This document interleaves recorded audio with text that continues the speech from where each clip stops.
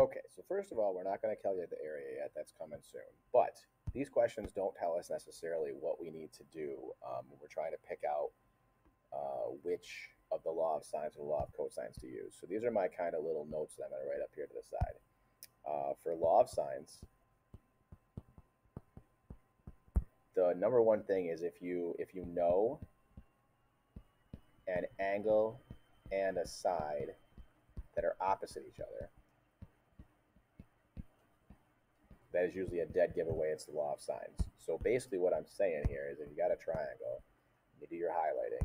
You're like yellow, yellow, blue, blue, green, green.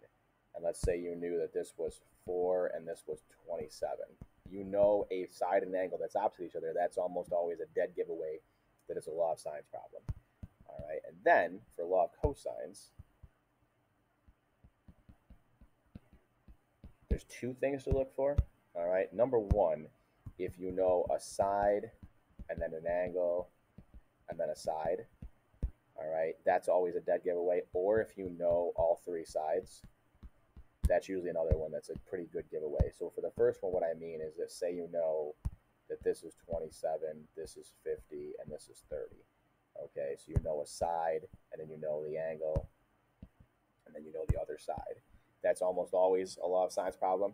And then the other one is if you know all three sides. Whoops, let me draw my actual pen. If you know all three sides, so like this is 26, this is 32, and this is 40. All right, that's almost definitely a law of sines too because I'm going to need an angle and I don't know any angles at all.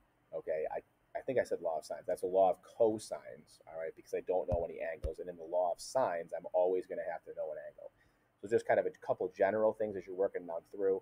The bottom line is if you take a formula, law of sines or law of cosines, and try to plug the numbers in, and you notice that uh, you have two things missing in there, so you'd have two different x's, that's a dead giveaway. It's the wrong one. All right, I've said dead giveaway about 50 times during this video, so um, I'm trying to not use that anymore.